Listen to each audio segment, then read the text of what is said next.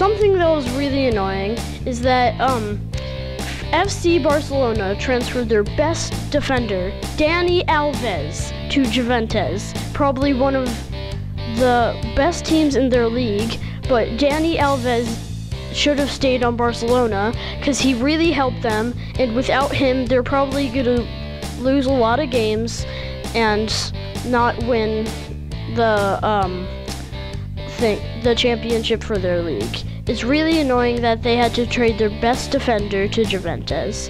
This is John Geoffroy. That was my rant.